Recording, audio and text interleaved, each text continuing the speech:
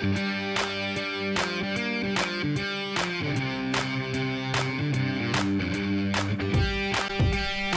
the Discovery 3, we had some dashboard lights that were illuminated. 8. Brake warning light. 11. ABS indicator. 42. DSC. If you attempted to move the vehicle, the following would also light up. 47. Suspension system. One of the lights that failed to illuminate, 45 HDC. We lost the terrain response system, which would not illuminate when turning the dial. Also, the gearbox warning display came on, and air suspension failed to operate. We completed a diagnostics check. These are the faults that showed for the rear diff motor. The checks we did were for the module which controls the motor, which is positioned in the panel behind the passenger rear seat. When the rear diff electric motor assembly fails, these are all the parts that will be affected as they are all linked. This is the first port of call. There are two types of rear diff for a Discovery 3. One has an electric motor and gear on the top, denoted by arrow. First, remove the spare wheel. This will give you access to bolts you will need to undo. You will then need to jack up the passenger side rear of the vehicle and place the axle stand in the correct position under the chassis to support the vehicle. You can then remove the rear passenger wheel. This will enable you to have access to the diff motor. if you do not have a ramp and are doing this on your driveway. There are two long bolts through the subframe which holds the diff in place. You will need to place a bottle jack under the diff to support it, then remove the two bolts. To do this you will need a long 21mm socket, an 18mm spanner. Once the two bolts are removed, Jack up the diff gently. This will help you get to the wiring connector and the two small bolts. Number 1. There are three little lugs that hold this little connector on. Prise it off gently and allow it to drop down in a controlled manner. Number 2. The pipe can be carefully flexed round to the left, giving you access to the connector and the two bolts.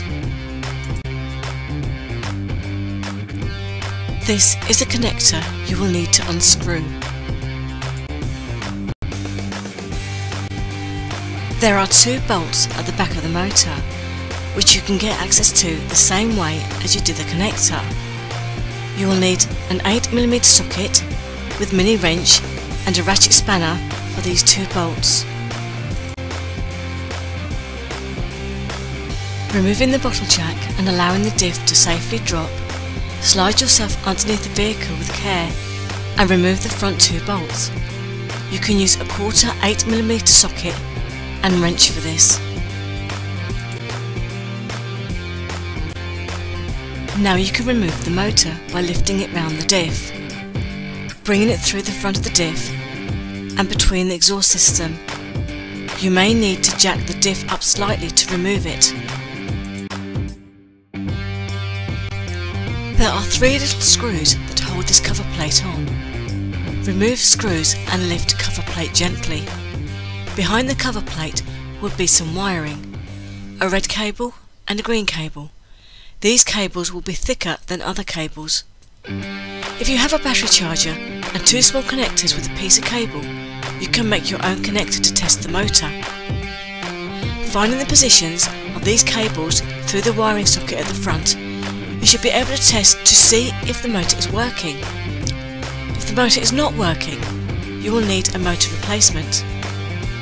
If the motor is working, there is another way of checking the gears. See as follows. There are four cap head screws. remove these screws, it will separate the motor from the gearbox.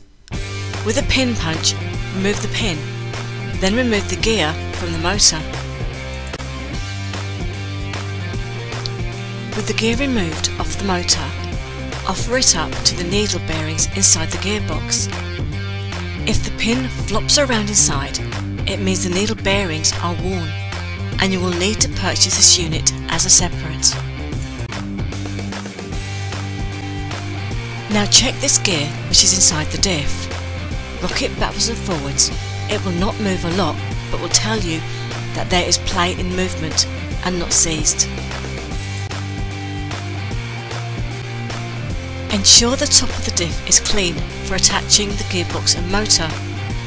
You will need to place new sealant on the face of the gearbox to give it an oil-tight seal. You can then reassemble the unit.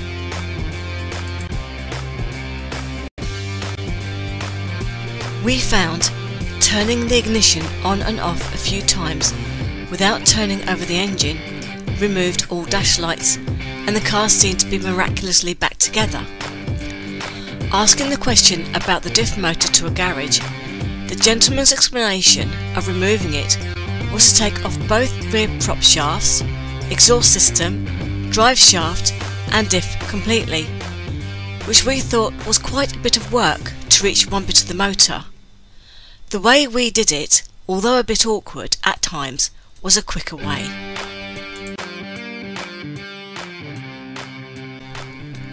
We hope this video helps. Thank you for watching.